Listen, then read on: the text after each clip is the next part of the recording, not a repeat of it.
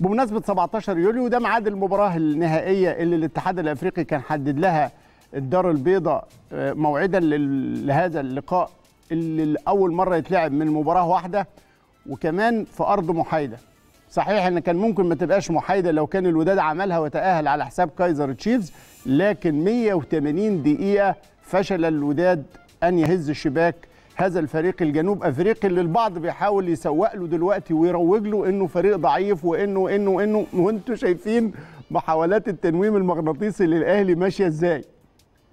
يقول لك أصل ما هو ده ما سجلش إلا هدف واحد هو سجل هدف في الدار البيضاء بس كمان دفاعه الحكيم والمتين والمحكم ما استقبلش أي هدف طوال 180 دقيقة من الوداد المغربي فعشان كده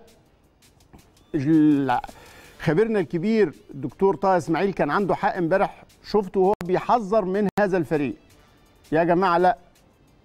طبعا أدبيات الأهلي وثوابته دايما إن هو لا يستهين بأي منافس ويحترم الجميع وعنده دايما وابدا تقدير لأي فريق بيواجهه. وشفت الإحترام الكامل للترجي التونسي كان نتيجته إيه؟ آه أنت كسبان. في آه، رادس 1-0 عندك أفضلية في مباراة العودة لكن الكل تعامل مع هذه المباراة باحترافية شديدة جدا وبتعزيز لمنهج النادي الأهلي اللي هو مهما كانت نتيجة مباراة أولى يبقى دائما وابدا الفريق البطل بثقافة البطل وشخصية البطل وخبرات البطل عارف إنه ولا كأنه أي حاجة حصلت. كل التركيز في المهمة فكان التركيز قدام الترجي التونسي كفيلا بتحقيق هذا الفوز الكبير اللي الحقيقة جنى الأهلي من وراه عدة أرقام قياسية هقول لكم عليها في ثنايا حلقة اليوم.